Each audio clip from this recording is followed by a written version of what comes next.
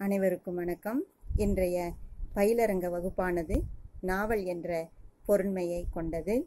பொதுவாக நாவல்கள் என்று பார்க்கும்போது அந்த சொல்லானது எங்கிருந்து வந்தது? அது தமிழ் சொல்தானா?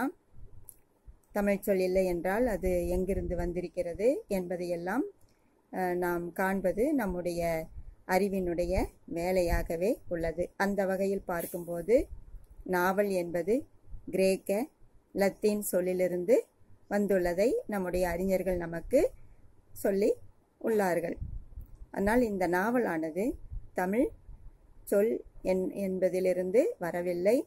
கிரேக்க லத்தீன் சொல்லிலிருந்து வந்திருப்பதை நமக்கு உணர்த்தி உள்ளார்கள். இன்றைய காலகட்டத்தில் நாவல் என்பதை தமிழில் புதினம் என்ற பெயரிலே சொல்லிக்கொண்டு வருகிறோம்.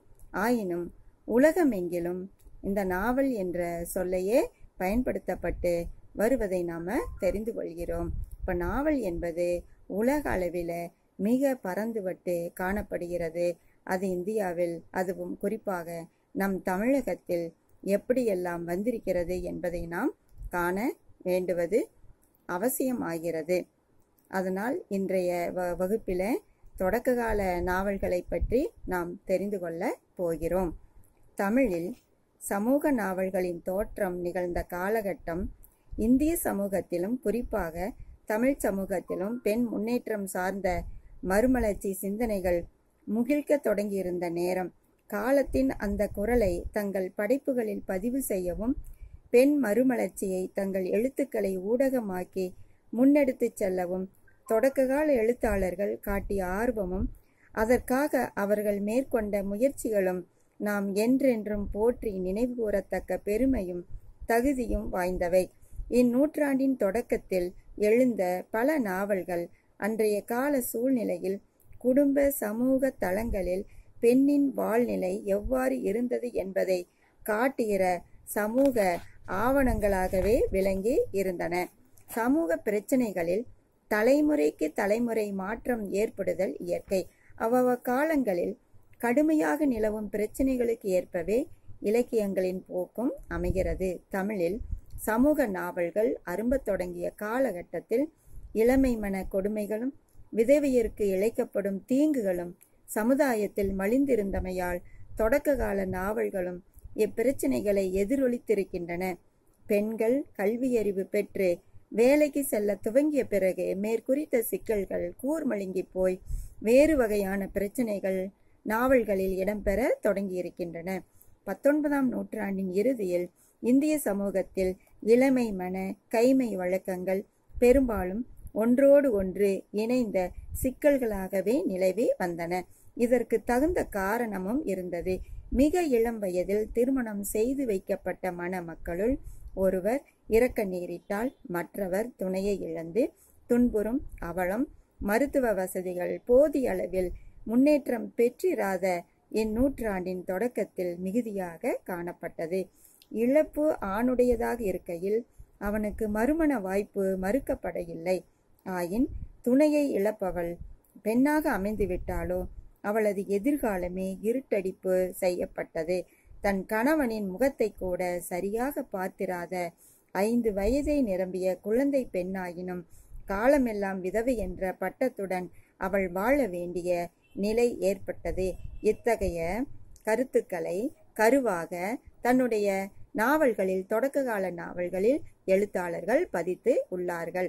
இந்த தொடக்ககால நாவல்களில் ஆண் எழுத்தாளர்கள் பெண் எழுத்தாளர்கள் என்ற பாகுபாடெல்லாம் கிடையாது. ஆண் எழுத்தாளர்களாக இருந்தாலும் சரி பெண் எழுத்தாளர்களாக இருந்தாலும் சரி எல்லாருமே இதே கதை கருவினை நமக்கு நாவல்கள் நாவல்களாக்கி தந்துள்ளார்கள். அதனை நாம் படிக்கும்போது தெரிந்து கொள்கிறோம். அதனால் பெண் எழுத்துக்கள் ஆண் எழுத்துக்கள் என்ற பேதங்களை தொடக்க காலத்திலே நாம பார்க்க முடியாது என்பதை நாம் தெரிந்து கொள்கிறோம். அடுத்து தொடக்க நாவல்களாக வெளிவந்த நாவல்களை பற்றி இரண்டாவதாக நாம பார்க்க போகிறோம். தமிழில் முதல் நாவலாசிரியர் என்னும் பெருமைக்குரியவர் வேதநாயகம் பிள்ளை. மாவட்ட நீதிபதியாக பணியாற்றியவர் இவரது பிரதாப முதலியார் ச முதலியார் சரித்திரம் சுகுணசுந்தரி ஆகிய இரு நாவல்களும் குறிக்கத்தகுந்தவை மெல்லிய நகைச்சுன நகைச்சுவை உணர்வு இவரது படைப்புகள் அனைத்திலும் இலையோடும் தமிழில் பிரதாப முதலியாரினுடைய சரித்திரம் என்ற நாவல் முதல் நாவலாக இடம்பெற்று உள்ளது. வேதநாயகம் பிள்ளையினால எழுதப்பட்டது என்பது இங்கு கவனிக்கத்தக்கதாகும்.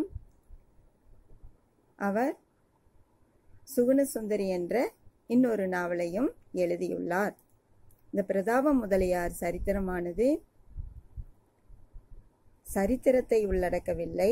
ஆனால் அந்த காலகட்டத்திலே இருந்த குடும்ப கருத்துக்களை அடிப்படையாக கொண்டு எழுதப்பட்டுள்ளது என்பதை நாம் தெரிந்து கொள்ள வேண்டும்.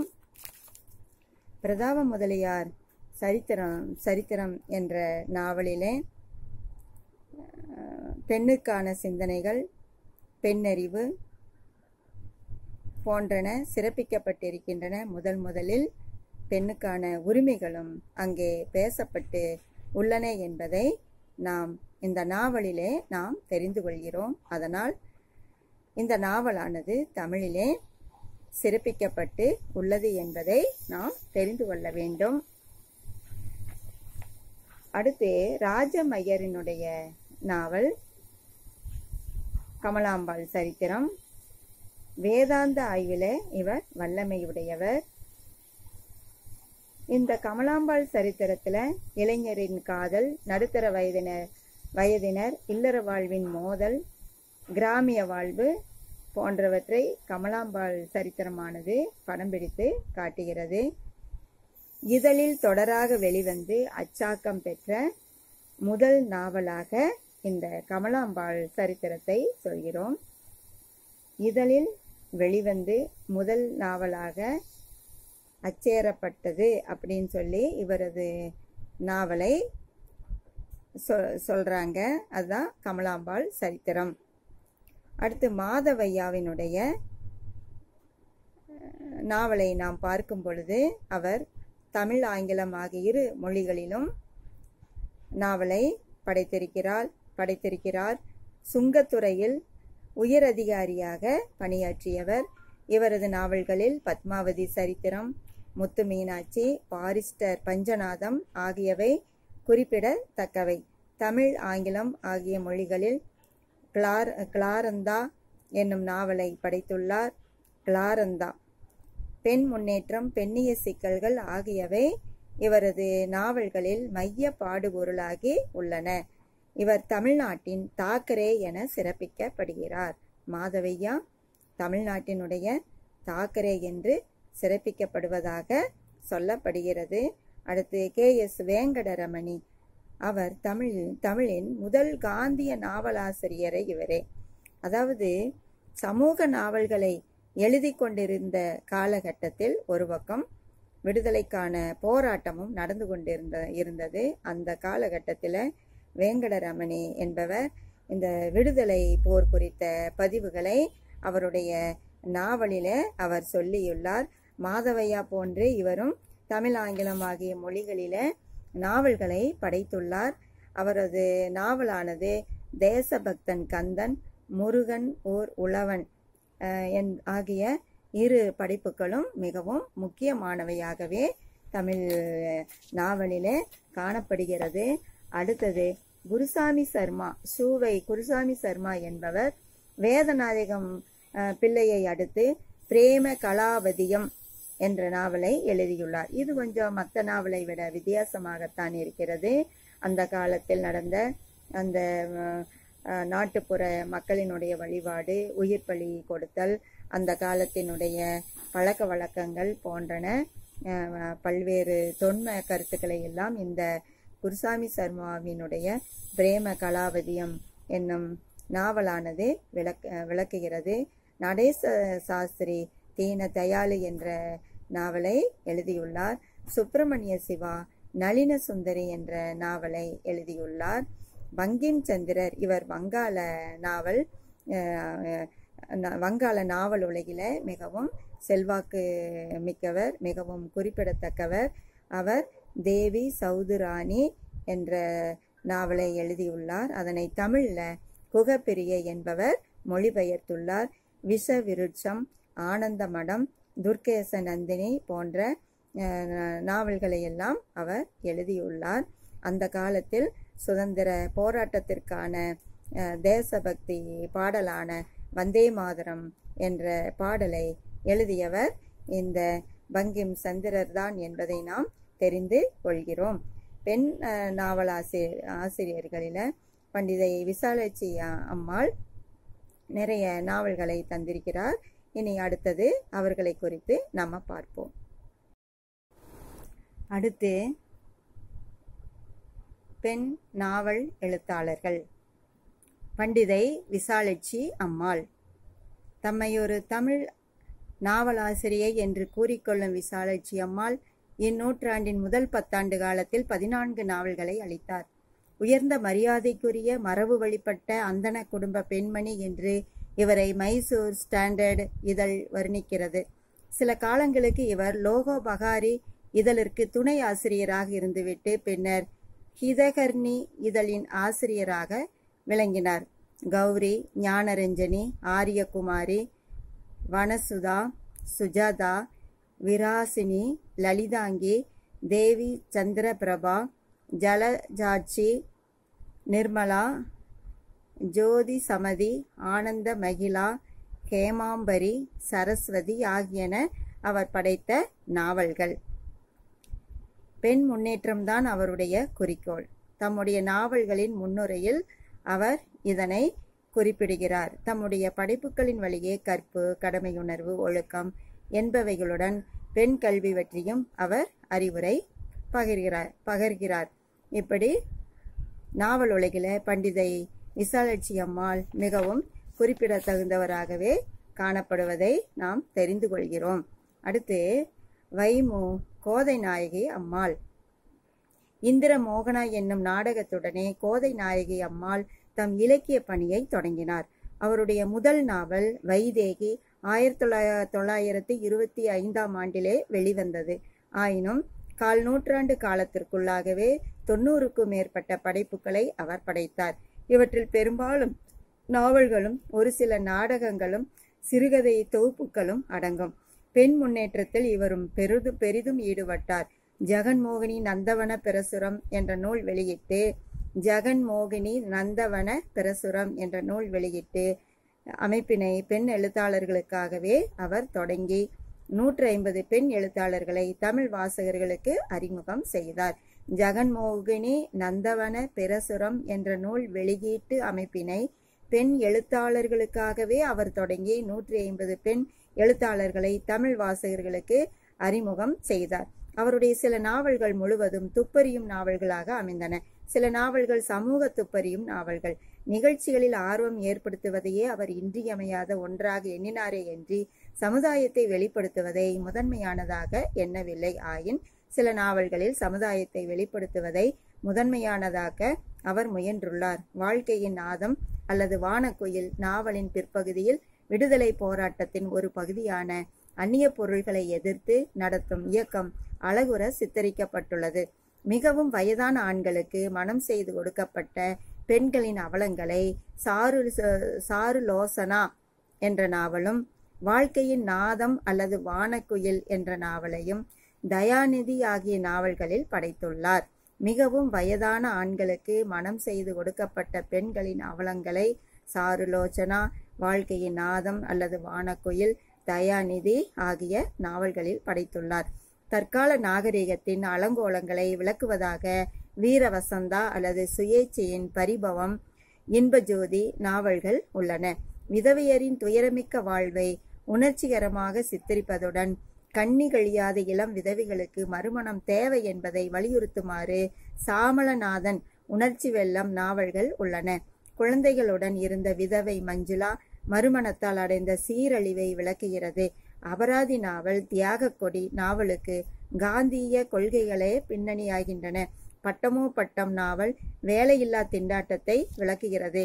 தேர்தலில் காணப்படும் லஞ்ச ஊழல்களை படம் பிடிக்கிறது சாந்தகுமாரி நாவல். விலைமகள் குடும்பத்தில் பிறந்த நல் ஒழுக்கமுள்ள ஒரு பெண்ணின் வாழ்வினை ஜீவிய சுழல் நாவல் சித்தரிக்கிறது. இதய ஒளி ஆசை பிரவாகம் ஆகிய நாவல்கள் திரைப்பட துறையில் காணப்படும் லஞ்ச ஊழ்களை விரித்துரைக்கின்றன. கிருபா மந்திர் நாவலில் அனாதை குழந்தைகளை பேணுவதால் ஏற்படும் மன நிறைவு கருவாக உள்ளது. புதுமை கோயில் நாவல். கடமை பேணுகின்ற ஒரு குடும்பத்தின் மகிழ்ச்சியை சித்தரிக்கின்றது. வைமுகோவின் குறிப்பிடத்தக்க நாவல்களுள் இவை ஒரு சில. மணத்தாமரை நாவலில் கோயிலுக்கு எதிரேயுள்ள மருத்துவமனை ஒன்று. தன் அனுபவங்களை தானே கதை சொல்லுகின்ற திறனை காணலாம். எண்ணிக்கையில் மிகுதியான நாவல்களை படைத்த ஒரே பெண் நாவலாசிரியர் ஆசிரியை வைமு கோதை நாயகி அம்மையார்தான். இன்றளவும் அவர் படை படைத்தவற்றில் நான்கில் ஒரு பகுதி படைத்த பெண் நாவலாசிரியை ஒருவரும் இல்லை. எண்ணிக்கையிலும் பல்வேறுபட்ட கருப்பொருள்களை நாவலில் கையாண்ட பாங்கிலும் கோதை நாயகியார் முதன் முதன்மை பெற்று விளங்குகிறார். எனவேதான் அந்நாட்களில் இவர் நாவல் அரசி என்று உரிமையுடன் உரிமையுடன் பாராட்ட பெற்று விளங்கினார். நாவல் அரசி என்று உரிமையுடன் பாராட்ட பெற்ற ஒரே ஒரு நாவல் பெண் எழுத்தாளர் கோதை நாயகி அம்மையார் என்பதை நாம் தெரிந்து கொள்ள வேண்டும். தொடக்ககால நாவல்களில் வேறு பெண் எழுத்தாளர்களை பற்றி இப்போது காணலாம். கஜாம்பிகை அம்மாளின் ஞானாம்பாள் ஆயிரத்தி தொள்ளாயிரத்தி எட்டில் கிறிஸ்துவ மிஷினரியின் செல்வாக்கிற்குள் வந்த இளம்பெண் ஒருத்தியின் கதை விவரிக்கப்படுகிறது. கஜாம்பிகை அம்மாளின் ஞானாம்பாள் என்ற நாவலானது கிறிஸ்துவ மிஷினரியின் செல்வாக்கிற்குள் வந்த இளம்பெண் ஒருத்தியினுடைய கதையாக விளங்குகிறது. எஸ். ராஜாம்பாளின் நாகரத்தினம் ஆயிரத்தி தொள்ளாயிரத்தி ஒன்பது ஒன்பதில் வெளியாகி உள்ளது. அந்நாவல் ஆசிரியையின் தத்துவமும் கதை வடிவில் தரப்ப தரப்பட்டு உள்ளது. எஸ். ராஜம்பாளின் நாகரத்தினம் ஆயிரத்தி தொள்ளாயிரத்தி ஒன்பதில் வெளிவந்துள்ளது. அந்நாவலில் ஆசிரியையின் தத்துவம் கதை வடிவில் தரப்பட்டுள்ளது. சமுதாய சீர்திருத்திற்கு சமுதாய சீர்திருத்தத்திற்காக தம்மை அர்ப்பணித்து கொண்ட இரு பெண்களின் கதையை கிரிஜாதேவியின் மோகனரஞ்சனி வி. பாலம்மாளின் திலகவதி ஆகிய நாவல்களில் காணலாம். சமுதாய சீர் திருத்தத்திற்காக தம்மை அர்ப்பணித்து கொண்ட இரு பெண்களின் கதையை கிரிஜாதேவியின் மோகனரஞ்சனி வி. பாலம்மாளின் திலகவதி ஆகிய நாவல்களில் காணலாம். திருமதி பால் சாலமனின் ஸ்வர்ணாபாய் நாவலில் மூன்று குடும்பங்களின் தற்காலிக இன்பம் சித்தரிக்கப்பட்டு உள்ளது. கனகமணி அம்மாளின் மகேஸ்வரி நாவலில் அர்ப்பணிப்பு பாங்குடைய பெண்ணின் கதை கூறப்படுகிறது. இக்காலத்தில் வாழ்ந்த வேறு சில பெண் நாவலாசிரியைகளின் நாவல்களுள் சி. சரஸ்வதி அம்மாளின் பிரேமகாரம். ஆர். எஸ். ராஜலட்சுமி அம்மாளின் ரூபலோசனி. திருமதி என். சுவாமிநாதனின் ஸ்ரீதரன். மூவாளூர் எஸ். ராமா அமிர்தத்தம்மாவின் தாசியல் மோசவலை மீனாட்சி சுந்தர அம்மாளின் ஜெயசீலன் என்பன குறிப்பிடத்தக்கன. இப்படி மேற்கண்ட இந்த பெண் எழுத்தாளர்கள் எல்லாருமே ஆண் எழுத்தாளர்களுக்கு இணையாக நாவல்களை தந்துள்ளனர். இதில் மூவலூர் ராமா அமிர்தத்தம்மாவின் நாவலானது முதன் முதலின் தாசிகளை பற்றிய கருத்துக்களை சொல்வதாக அமன் அமைந்துள்ளது. தேவதாசிகள் முன்னுக்கு வர வேண்டும். அந்த தேவதாசி நிலையை ஒழிக்க வேண்டும் என்ற கருத்தில் அமைந்த முதல் நாவலாக அந்த ராமா அமிர்தத்தின் ராமா அமிர்தத்து அம்மாவின் தாசியல் மோசவலையானது அமைந்துள்ளது என்பது குறிப்பிடத்தக்கது. மற்றபடி மற்ற எல்லா நாவல்களுமே ஆண் நாவலாசிரியர்களுக்கு இணையாக பெண் நாவலாசிரியர்கள் படைத்துட்ட படை படைத்து உள்ளார்கள். அக்காலத்தில் ஆண் நாவலாசிரியர்களாயினும் பெண் நாவலாசிரியர்களாயினும் ஒரே மாதிரியான இலக்கிய போக்கை பிரதிபலிக்கும் புதுமைக்கு ஒரு அனைவரிடமும் காணப்படுகிறது என்று ஆசிரியர் சொல்வதை நாம் பார்க்குறோம். வரலாறு இலக்கிய வரலாறானது இந்த மாதிரி ஆண் பெண் எழுத்தாளர்களுடைய நடைகளை பற்றி சொல்லப்பட்டுள்ளது என்பதையும் நாம் தெரிந்து கொள்ள வேண்டும். அடுத்து தொடக்க காலத்தில் எழுதிய நாவல் ஆசிரியர் ஆசிரியர்களை பற்றிய ஒரு சிறிய குறிப்பினை நாம் பார்க்குறோம். வேதநாயகம் பிள்ளை ஆ Madhavaiah P. R. Rajamaiyer K. S. Venkataramani சூவை Gurusamy Sharma Natesa Sastri Subramaniya Siva Bankim சந்திரர் இவர்களெல்லாம் குறிப்பிடத்தக்கவர்கள் ஆவார்கள். இவர்களோடு வா. ராமசாமி என்று சொல்லுகின்ற வாரா நம்முடைய மகாகவி பாரதி அவரும் அடங்குவார். அதே சமயத்தில் பெண் நாவலாசிரியர்கள் யார் என்று பார்க்கும் பொழுது பண்டிதை விசாலட்சி அம்மாள் வைமு கோதை நாயகி அம்மாள் மூவலூர் ராமாமிர்தம் அம்மையார் கஜாம்பிகை S Rajambal கிரிஜாதேவியின் Girijadevi V Balammal Paul Solomon Saraswathi Ammal Kanakamani Ammal Rajalakshmi N Swaminathan Meenakshi Sundara Ammal போன்றோர் குறிப்பிடத்தக்கவர்கள் ஆவார்கள். அதனால் தொடக்க கால தொடக்க காலங்களில் ஆண் எழுத்தாளர்கள் பெண் எழுத்தாளர்கள் என்ற இரு பாலரும் நாவல்களை நம்முடைய தமிழ் உலகிற்கு தந்துள்ளனர்.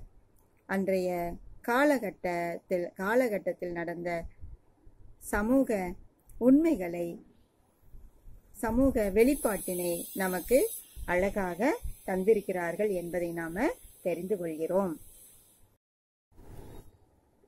அடுத்து தொடக்க கால நாவல்களை பற்றி நாம் பார்க்க போகிறோம்.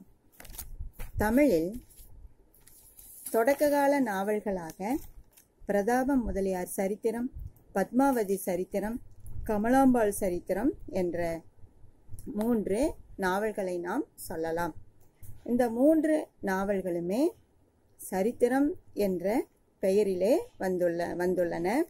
சரித்திரங்கள் என்னும் பெயரில் வெளிவந்துள்ளன. சுதந்திர போராட்டத்திற்கு முன்பு தோன்றிய இந்நாவல்களில் வரலாறு எங்கும் பேசப்படவில்லை. கிபி ஆயிரத்தி எண்ணூத்தி எழுபத்தி ஆறில் முதன் முதலில் வெளிவந்த பிரதாப முதலியார் சரித்திரம் பெண்ணறிவு பெண் கல்வி ஆகியவற்றுக்கு முக்கியத்துவம் கொடுத்திருப்பதை காணலாம். பெண்களின் உயர்வை மிகவும் நேர்த்தியுடன் காட்டியிருக்கிறார். சுந்தரத்தன்னியும் ஞானாம்பாலும் ஆடவர்களுக்கு அறிவுரை கோரும் ஆற்றல் உடையவர்களாக இருக்கிறார்கள். ஆபத்து காலங்களில் தம்மை காத்து கொள்ளும் ஆண்மை அவர்களிடம் இருக்கிறது. அழகும் அடக்கமும் கொடையும் பெருந்தன்மையும் இனிமையாக பேசும் இயல்பும் சொற்சாதுரியமும் உடையவராக ஞானாம்பாளை உருவாக்கியிருக்கிறார் ஆசிரியர். சுந்தரத்தண்ணியின் துணிவையும் வழக்காடும் திறமையையும் வெள்ளை கவர்னரே மெச்சி பாராட்டுகிறார் என்று இந்த வேதநாயகம் வெள்ளையினுடைய பிரதாப முதலியார் சரித்திரமானது அமைந்து காணப்படுகிறது. பெண்ணறிவானது சிறப்பிக்கப்படுகிறது. அதுபோன்றே பத்மாவதி சரித்திரமும் கமலாம்பாள் சரித்திரம் ஆகியவையும் பெண்ணிற்கு முக்கியத்துவம் கொடுப்பனவாக முற்போக்கு சிந்தனைகளுடன் வெளிப்படுத்துவதையும் நம்ம பார்க்க முடிகிறது. அதே சமயத்தில் இவர் இந்த நாவல்களில பெண்களினுடைய சிக்கல்கள் பிரச்சனைகள் இளமை மனம் விதவை இது போன்ற கைமை நோன்பு போன்ற பல பெண்களுக்கு இணைக்கப்படும் இழைக்கப்படும் கொடுமைகளையே அதிகமாக இந்த நாவல்களிலே பேசப்படுவதையும் நாம் காண்கிறோம். இதில் என்ன தெரிஞ்சுக்கிறோம் அப்படின்னா வேதநாயகம் பிள்ளையினுடைய நாவலானது முதலில் வெளிவந்த சிறப்புடைய ஒரு நாவலாக விளங்குவது நமக்கு தெரியும். அவர் தமிழின் முதல் நாவலாசிரியர் என்ற பெருமையை பெற்றிருப்பவர் நீதிபதியாக பணியாற்றியவர் சுகுணசுந்தரி என்ற நாவலையும் அவர் எழுதியுள்ளார். அவருடைய நாவலில் நகைச்சுவை கலந்து இருக்கும். அவர் வந்து ஒரு குறிப்பிட்ட இன மக்களை அடிப்படையாக கொண்டு அந்த நாவலிலே சொல்லப்பட்டிருப்பதையும் நாம் பார்க்க முடியுது. அதே சமயத்தில் பெண்ணறிவு என்பது தெளிந்த அறிவினை உடையதாக கல்வி அறிவு உடையதாக இருப்பதையும் அந்த நாவலானது நமக்கு வெளிப்படுத்துகிறது. ஆனால் கமலாம்பாள் சரித்திரம் பத்மாவதி சரித்திரம் ஆகியவற்றில் பெண்கள் பெண்களுக்கான கொடுமைகள் அதிகம் விளைக்கப்பட்டிருப்பதை நாம் தெரிந்து கொள்கிறோம். ராஜம் ஐயரினுடைய இந்த வேதா அவர் வந்து வேதாந்த ஆய்வில் வல்லமை மிக்கவர். கமலாம்பாள் சரித்திரத்தில் இளைஞரின் காதல் நடுத்தர வயதின வயதினர் இல்லற வாழ்வின் மோதல் கிராமிய வாழ்வு இவற்றையெல்லாம் படம் பிடித்து காட்டுவதாக அவருடைய நாவல் அமைந்துள்ளது. இதழில் தொடராக வெளிவந்து அச்சாக்கம் பெற்ற முதல் நாவல் இவரது கமலாம்பாள் சரித்திரமாகும். இந்த கமலாம்பாள் சரித்திரத்தில் கமலாம்பாளுக்கு அளிக்கப்படுகின்ற இன்னல்கள் கொடுமைகள் காட்டப்படுவதை நம்ம தெரிஞ்சுக்கிறோம். அதே மாதிரி மாதவையாவினுடைய இந்த நாவலானது பத்மாவதி ச நாவலானது பத்மாவதி சரித்திரமானது முதல் முதலில் பெண்ணுரிமையை பேசப்படுகின்ற ஒன்றாகவே இடம்பெறுகிறது. தமிழ் ஆங்கிலம் ஆகிய இரு மொழிகளிலும் நாவல் படைத்த சிறப்புக்குரியவர் இவர். சுங்கத்துறையில் உயர் அதிகாரியாக பணியாற்றியவர் இவரது நாவல்களில் பத்மாவதி சரித்திரம் முத்து மீனாட்சி பாரிஸ்டர் பஞ்சநாதம் ஆகியவை குறிப்பிடத்தகுந்தவை. தமிழ் ஆங்கிலம் ஆகிய மொழிகளில் கிளாரந்தா என்னும் நாவலை படைத்துள்ளார். பெண் முன்னேற்றம் பெண்ணிய சிக்கல்கள் ஆகியவை இவரது நாவல்களில் மையப்பாடுபொருளாகி உள்ளன. இவர் தமிழ்நாட்டின் தாக்கரே என சிறப்பிக்கப்படுகிறார். பொது கேள்வியில இதை நீங்க எடுத்துக்கணும். தமிழ்நாட்டின் தாக்கரே என்று சொல்லப்படுபவர் இந்த மாதவையா என்பதை நாம தெரிந்து கொள்ள வேண்டும். இந்த நாவல்களை மூன்று நாவல்களை நாம் பார்க்கும் பொழுது இந்த நாவல்களில் பெரிதும் இடம்பெறுபவை பெறுபவை. குடும்பம் என்பதை அடித்தளமாக கொண்டு பெண்ணின் கொடுமைகள் சிக்கல்கள் பெண்ணறிவு பெண் கல்வி மறுப்பு கைமை நோன்பு விதவை போன்ற கருத்துக்களே அதிகம் இடம்பெற்று இருக்கின்றன. பெண் கல்விக்கு அங்கங்கே முதன்மை கொடுக்கப்பட்டு இருப்பினும் கற்பு ஒழுக்கம் போன்ற பெண்ணுக்குரிய பண்புகளின் அடிப்படையிலே சொல்லப்பட்டு பெ- பெண்களுடைய முற்போக்கு சிந்தனைகளுக்கு தடை சொல்லப்பட்டிருப்பதையும் இந்த நாவல்களானது நமக்கு வெளிப்படுத்துகின்றன. அதனால் பிரதாப முதலார் சரித்திரம் பத்மாவதி சரித்திரம் கமலாம்பாள் சரித்திரம் போன்ற நாவல்களை அடிப்படையாக கொண்டு மற்ற நாவல்கள் எல்லாம் தோன்றி இருக்கின்றன என்பதை நாம தெரிந்து கொள்கிறோம். இந்த நாவல்களின் கருப்பொருளாக இருப்பது இதுதான். விதவை கோலம் விதவை பெண்கள் வந்து இளம் வயதில் இளமை மனமானது இருந்திருக்கிறது. அதை தடுக்க தடுத்து நிறுத்துகின்ற எண்ணமானது ஓங்கி வளரவில்லை என்பதும் இங்கே குறிப்பிடத்தக்கதாகவே உள்ளது. விதவை நிலையானது பெரிதும் பேசப்பட்டது. விதவையினுடைய விதவைகளுக்கு இழை இழைக்கப்பட்ட கொடுமைகளானது இங்கே சொல்லப்பட்டு உள்ளது. வயதில் மூத்தவரான ஆண்களை இளைய பெண்களை பெண் பெண்களை திருமணம் செய்து கொள்கின்ற நிலையானது இருந்திருக்கிறது. அதனால் பெண்களினுடைய கொடுமையானது சுட்டப்பட்டிருக்கிறதையும் நாம தெரிஞ்சுக்கிறோம். இங்கே பெண் கொடுமை மட்டுமல்லாமல் ஒரு பொருந்தாத மனங்களை காட்டுகின்ற ஒன்றாகவும் இந்த நாவல்கள் விளங்குகின்றன. நாவல்களில் அங்கங்கே ஆண்கள் பெண்களுக்கு கல்வி அறிவு போதித்தாலும் அவ்வப்பொழுது இந்த சந்தேகம் என்பது ஒரு பொருளாக இருப்பதை ஆண்களுக்கே உரிய ஒன்றாக இருப்பதையும் இங்கே எடுத்து சொல்வதை எடுத்து சொல்லப்படுவதை பார்க்க முடிகிறது.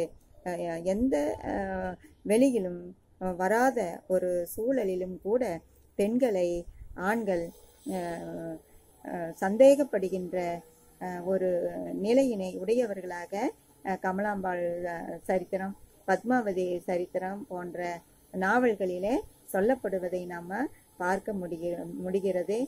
எத்தகைய கொடுமைகளை பெண்கள் அடைந்தாலும் ஆண்களினால் எப்படியெல்லாம் துன்ப துன்புறுத்தப்பட்டாலும் பெண்கள் ஆண்களுக்கு அடங்கி நடந்து தன்னுடைய குழந்தைகளுக்காக வாழுகின்ற ஒரு நிலையை உடையவர்களாக இருக்க வேண்டும் என்ற நிலையானது அன்றைய காலகட்டத்தில் உருவாக்கப்பட்டது.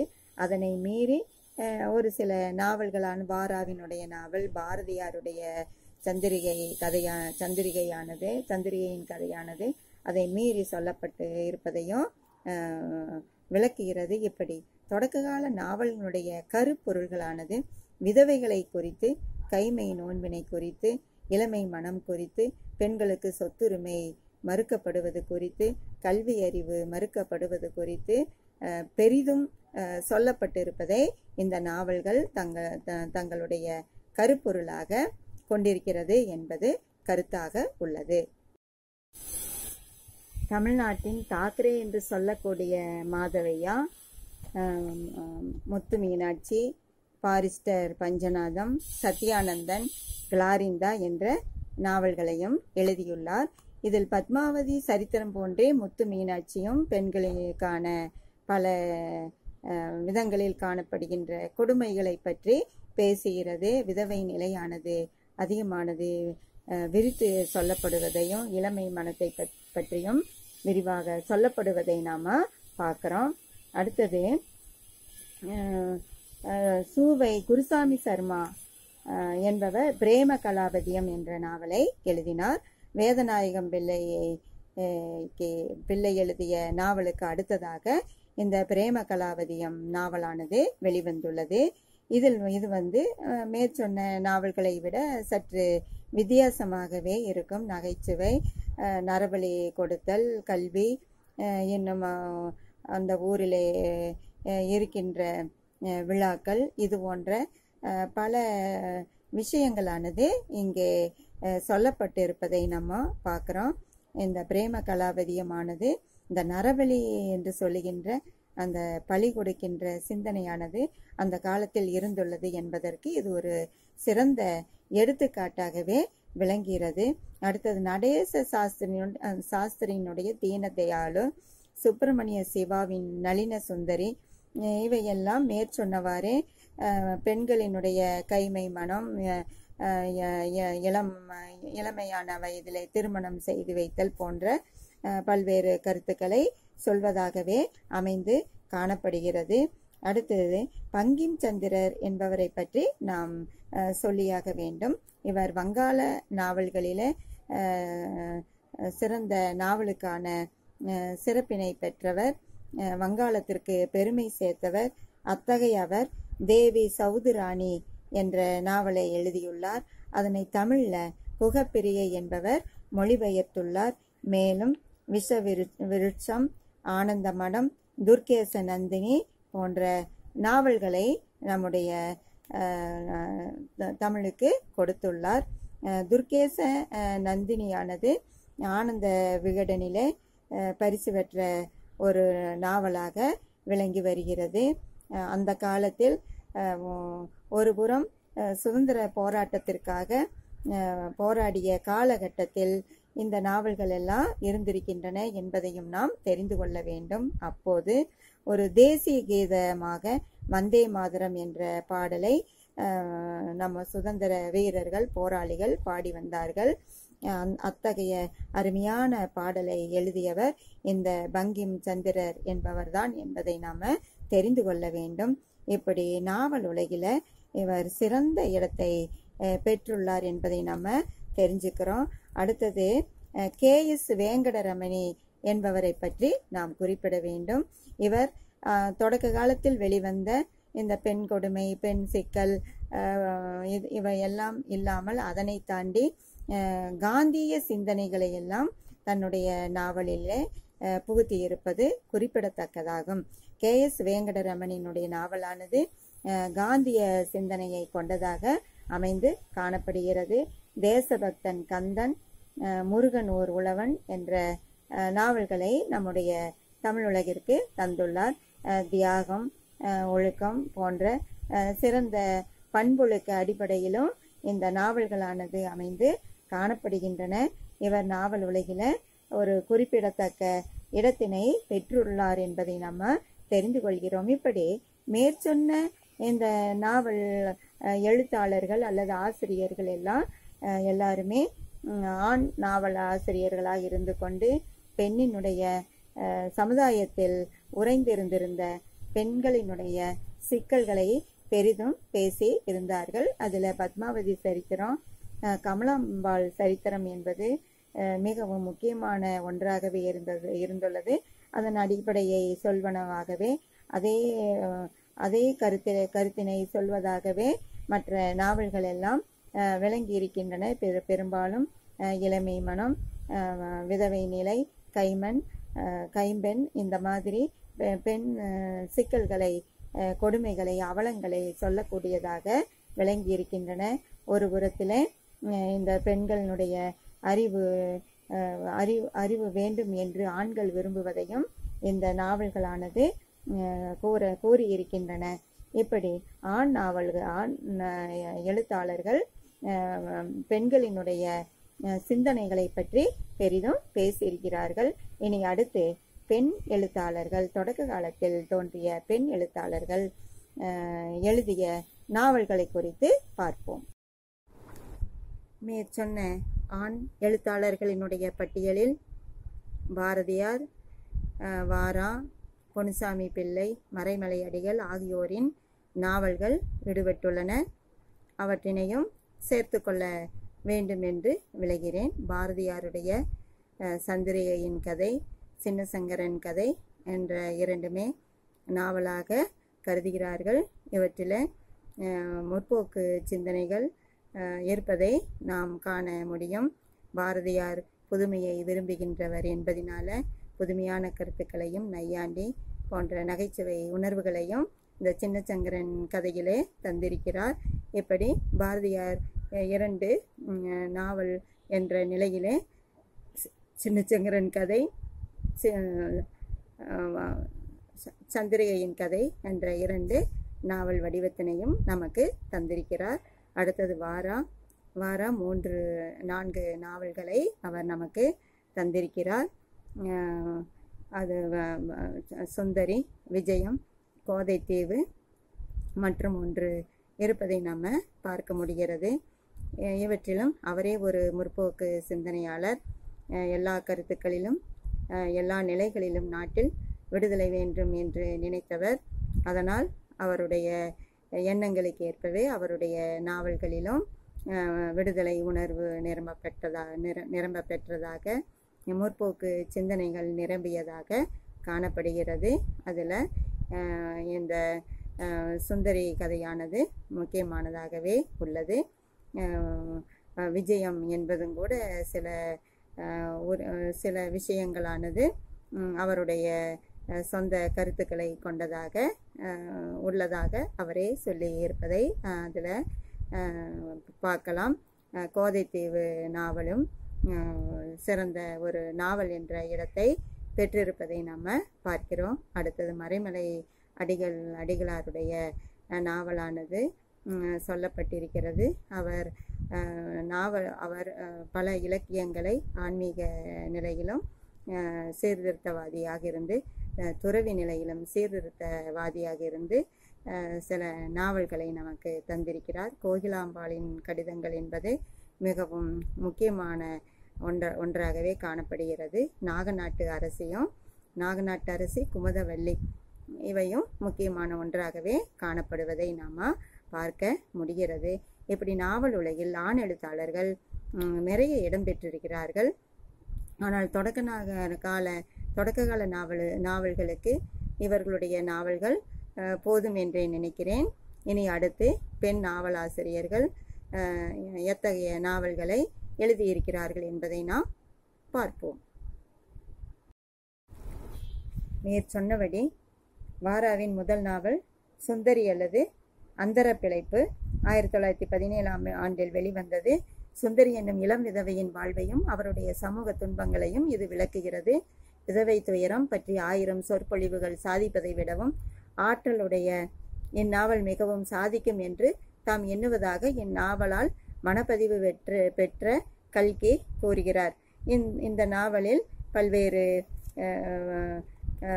பிரச்சனைகளை பிரச்சனைகளையும் அதற்கான தீர்வுகளையும் பற்றி சொல்லியிருக்கிறார். நம் வீட்டை நாம் சீர்திருத்த சீர் சீர்திருத்தியாக வேண்டும் என்றும் இந்நாவல் விவாதிக்கிறது. பெண்ணுக்கு விடுதலை அளிக்காமல் நாட்டு விடுதலை கேட்க நமக்கு அருகதை இல்லை என்று அறுதியிட்டு கூறும் அளவிற்கு நாவல் செல்கிறது. பல்வேறு தத்துவ நோக்குகளும் நாவலில் இடம்பெற்றுள்ளன. இந்த நாவல் ஆனது எழுச்சியை ஊட்டுவதாகவே அமைந்துள்ளது. விஜயம் ரா- வாராவின் இரண்டாவது நாவலும் விஜயம் என்னும் பெயருடைய விதவியின் வாழ்வையே படம் பிடித்து காட்டுகிறது. இது தன் வரலாறு அடிப்படையில் அமைந்துள்ளது.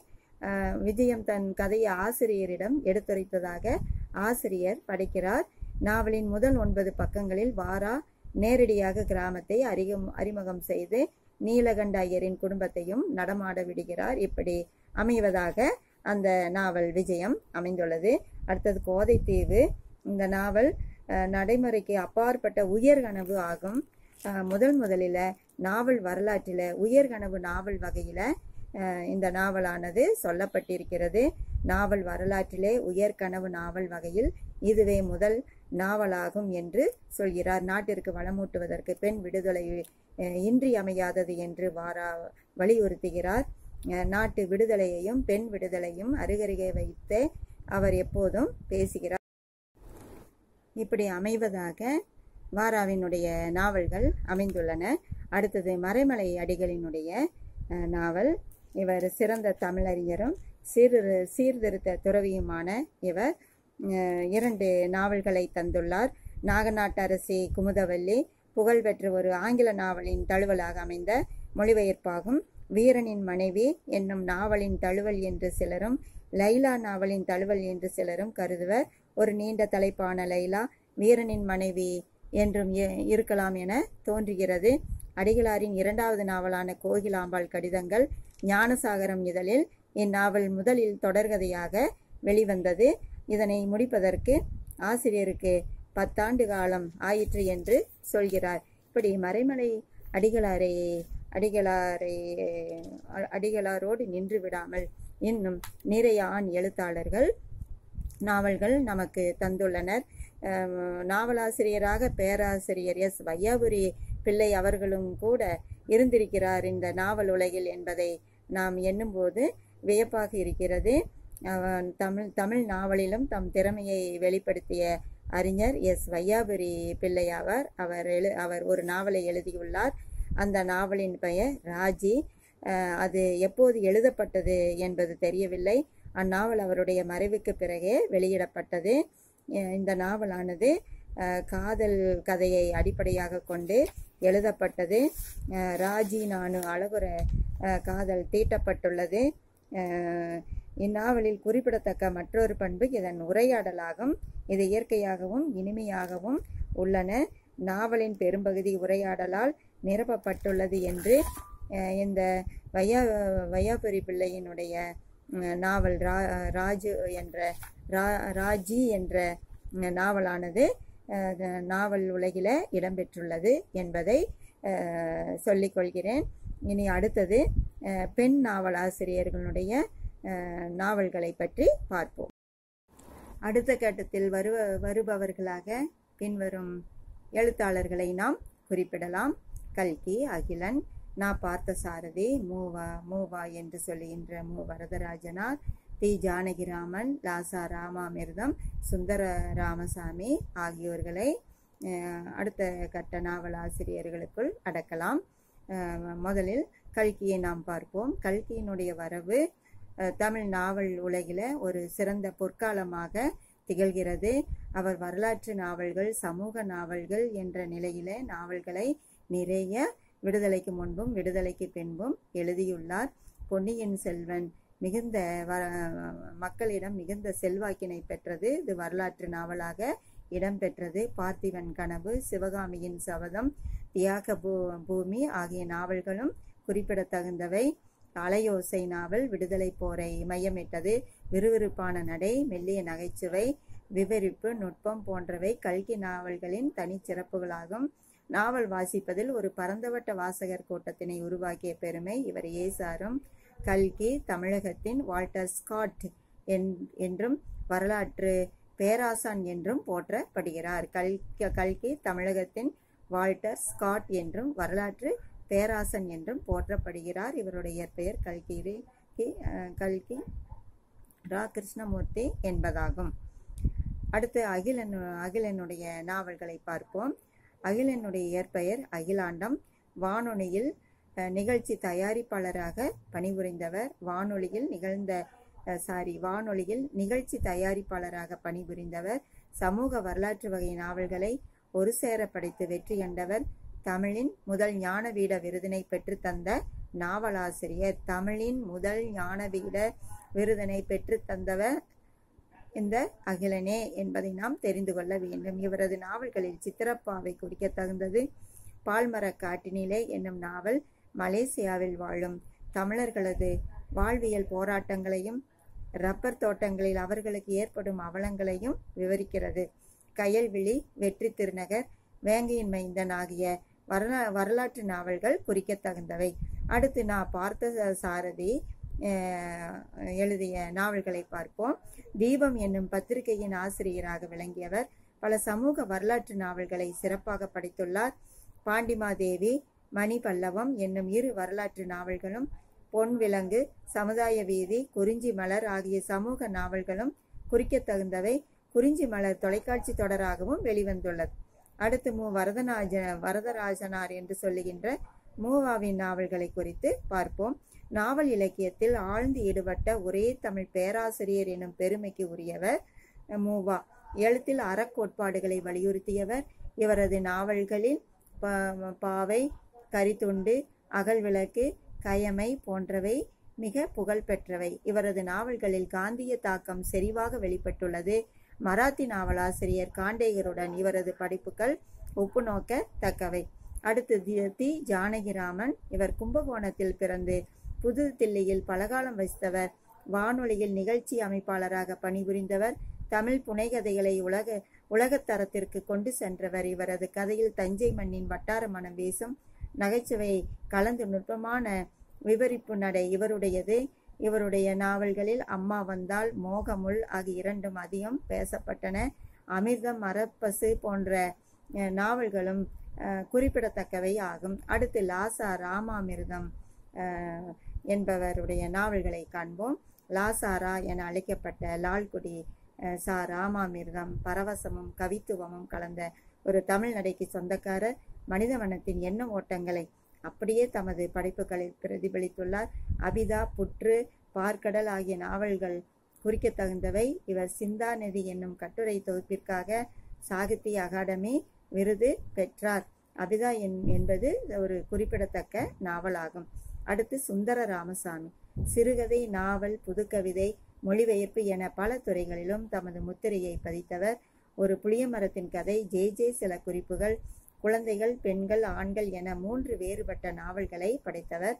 கனடா நாட்டின் இயல் விருதினை பெற்ற முதல் தமிழ் நாவல் ஆசிரியர் என்னும் பெருமை இவருக்கு உண்டு. மலையாள மொழியிலிருந்து தகழி சிவசங்கர பிள்ளையின் செம்மீன் நாவலை தமிழில் மொழிபெயர்த்துள்ளார். தமது வாழ்வின் இறுதி நாட்களை அமெரிக்காவில் கழித்து அண்மையில் மறைந்தார். இவர்களெல்லாம் இந்த கட்டத்தில் நாம் அடக்குவோம். அடுத்து இன்னும் வேறு ஆண் எழுத்தாளர்களை காண்போம். அடுத்து ஜெயகாந்தன் நீலபத்மநாபன் சு சமித்திரம் அசோகமித்திரன் சுஜாதா பாலகுமாரன் பிரபஞ்சன் பாவண்ணன் பொன்னீலன் தோப்பில் முகமது மீரான் ஆகியோரை அடுத்த கட்டத்தில் நாம் அடக்கலாம். இவர்கள் எழுதிய நாவல்களை பார்ப்போம். ஜெயகாந்தன் இவரை புதுமை பித்தனின் எழுத்துலக வாரிசு எனலாம். முற்போக்கு சிந்தனையும் சமூக அவலங்களை சாடும் போக்கும் இவரது படைப்புகளில் இணைந்து காணப்படுகின்றன. இவரது நாவல்களில் ரிஷி மூலம் சில நேரங்களில் சில மனிதர்கள் சினிமாவுக்கு போன சித்தாளு போன்றவை குறிக்கத்தக்கவை. இவர் எழுதிய அக்னி பிரவேசம் என்னும் சிறுகதையே பின்னர் சில நேரங்களில் சில மனிதர்களாகவும் கங்கை எங்கே போகிறாள் என்னும் நாவல்களாக உருப்பெற்றன. தமிழில் அகிலனுக்கு பிறகு ஞானபீட விருதினை பெற்ற ஒரே நாவலாசிரியர் பாரதியின் வாழ்வு குறித்த அரிய நூல் எழுதும் லட்சியத்துடன் தற்பொழுது புதுவையில் வசித்து வருகிறார்.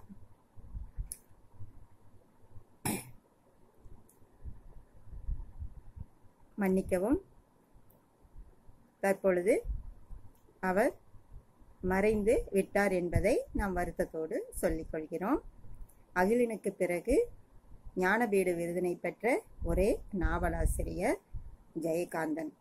அடுத்து நீல பத்மநாபன் தலைமுறைகள் பள்ளிகொண்டபுரம் தேரோடும் வீதி என மூன்று மிகப்பெரிய நாவல்களை தந்தவர். திரு திருவனந்தபுரத்தில் பல்லாண்டுகளாக வசித்து வரும் இவர் கேரள அரசின் மின் வாரிய துறையில் பொறியாளராக பணிபுரிந்தவர். திருவனந்தபுரம் நக நகரத்தினை தமது படைப்புகளில் உயிரோட்டமாக படைத்துள்ளார். கவிதை மொழிபெயர்ப்பு போன்ற துறைகளிலும் ஈடுபட்டு வருபவர். சு சமுத்திரம் வானொலி தொலைக்காட்சி துறைகளில் உயர் அலுவலராக பணிபுரிந்தவர் முற்போக்கு சமூக சாடல் ஆகிய இரண்டும் இவரது படைப்பின் பிரிக்க முடியாத இரு கூறுகள். ஒரு கோட்டுக்கு வெளியே ஊருக்குள் ஒரு புரட்சி சத்திய ஆவேசம் போன்ற சிறந்த நாவல்களை படைத்தவர். சாகித்ய அகாடமி விருது பெற்ற சிறப்புக்கு உரியவர்.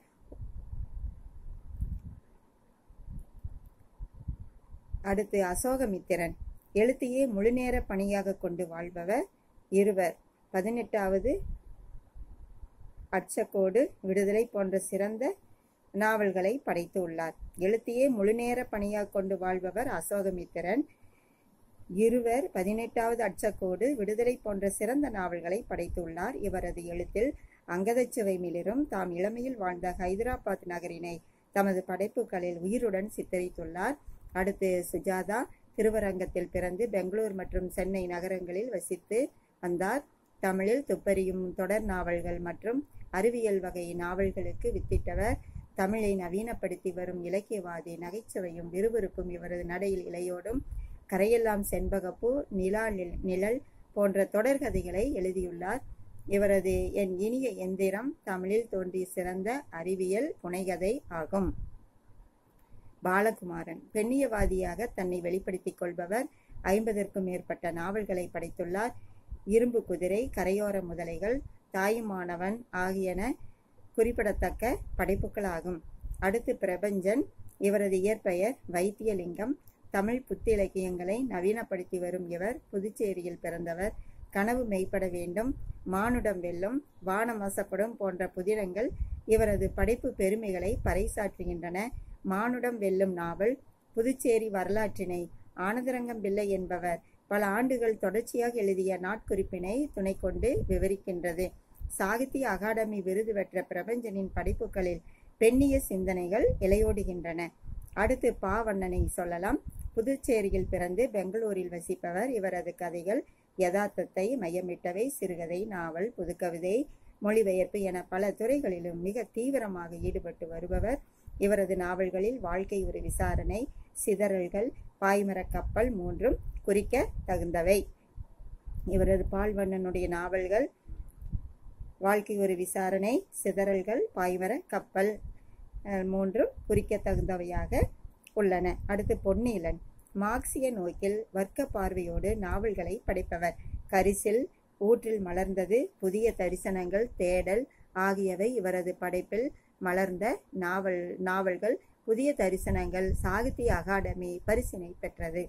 தோப்பில் முகமது மீரான் குமரி மாவட்டம் தேங்காய்பட்டினம் பகுதியை சார்ந்தவர். ஒரு கடலோர கிராமத்தின் கதை துறைமுகம் கடலன் தோப்பு சாய்வு நாற்காலி போன்ற நாவல்களை படைத்தவர். ஒரு கடலோர கிராமத்தின் கதை துறைமுகம் கடனன் தோப்பு சாய்வு நாற்காலி போன்ற நாவல்களை படைத்தவர். சாய்வு நாற்காலி சாகித்ய அகாடமி பரிசு பெற்றது. இஸ்லாமியர் வாழ்க்கை முறைகள் தம் நாவல்களின் நுட்பமாக பதிவு செய்து வருபவர் தோப்பில் முகமது மீரான்.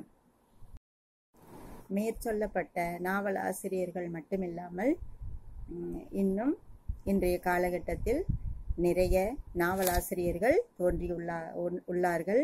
அண்மை காலமாக தரத்திலும் எண்ணிக்கையிலும் சிறந்த நாவல்களை படைத்து வருபவர்களுள் சோலை சுந்தர பெருமாள் ஜெயமோகன் எஸ். ராமகிருஷ்ணன் ரா முருகன் சோ தர்மன் இமயம் சா. பாலமுருகன் ஜே. டி. குருஸ் கண்மணி குணசேகரன் போன்றோர் குறிக்கத்தகுந்தனர் சோலை சுந்தர பெருமாள் சென்னல் தப்பாட்டம் புதிய நந்தன் போன்ற நாவல்களை எழுதியுள்ளார்.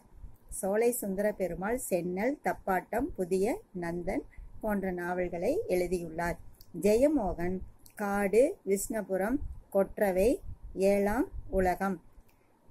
ஜெயமோகன் காடு விஷ்ணபுரம் கொற்றவை ஏழாம் ஏழாம் உலகம் என் போன்ற நாவல்களை தமிழுலகிற்கு கொடுத்துள்ளார். அடுத்து எஸ். ராமகிருஷ்ணன். உப்பாண்டவம் நெடுங்குருதி உருபசி போன்ற நாவல்களை தமிழுலகிற்கு வழங்கியுள்ளார். இவர் இன்றைய நாவல் ஆசிரியர்களுள் சிறந்த செல்வாக்குள்ளவராக கருதப்படுகிறார். நிறைய நாவல் விமர்சனங்களையும் அவர் செய்து வருவதை நாம் காண்கிறோம். அடுத்து சோ தர்மன் ஈரம் என்ற நாவலை எழுதியுள்ளார். ரா முருகன் மூன்றாம் விரல் அரசூர் வம்சம் என்ற நாவல்களை எழுதியுள்ளார். இமயம் கோவேறு கழுதைகள் ஆறுமுகம் செடல் என்ற நாவல்களை எழுதியுள்ளார். சா. பாலமுருகன் சோழகர் தொட்டி என்ற நாவலை எழுதியுள்ளார். கண்மணி குணசேகரன் அஞ்சலை என்ற நாவலை எழுதியுள்ளார். ஜே டி குரூஸ் ஆழிசூழ் உலகு என்ற நாவலை எழுதியு எழுதியுள்ளார். மேற்சொன்ன நாவல்கள் எல்லாமே அண்மை காலத்தில் எழுதப்பட்ட சிறந்த நாவல்களாக விளங்குகின்றன. அடுத்து தமிழில் வட்டார நாவல்களாக எவையெல்லாம் இருந்தன? வட்டார நாவலாசிரியர்கள் யாரெல்லாம் இருந்திருக்கிறார்கள் இருந்துள்ளனர் என்பதை குறித்து நாம் பார்ப்போம். தமிழ் வட்டார வழக்குகளை அதிகம் பயன்படுத்தி முதன் முதலில் நாவல் இயற்றியவர் என ஆர். சண்முக சுந்தரத்தினை குறிப்பிடலாம். இவரது நாகம்மா போன்ற படைப்புகள் கொங்கு நடையை பிரதிபலிப்பன. இவ்வகையில் கரிசல் நடையை விவரிப்பதில் கி ராஜநாராயணன் முன்னோடியாக திகழ்கின்றார். இவரது கோபல்ல கிராமம் கோபல்லபுரத்து மக்கள் ஆகிய இரு நாவல்களும் குறிக்கத்தகுந்தவை குறிக்கத்தகுந்த சில வட்டார வழக்குகளின் நாவலாசிரியர்கள் கொங்கு நாடு என்றாலே கொங்கு வட்டம் என்றாலே ஆர் சண்முக சுந்தரம் பெருமாள் முருகனை சொல்கிறோம். அடுத்து கரிசல் எழுத்தாளர்னா கி. ராஜநாராயணன் பொன்னிகளன் பூமணி ஆகியோர் அடங்குவர் திருநெல்வேலி வட்டார எழுத்தாளர் என்றாலே வண்ண நிலவனை சொல்லலாம்.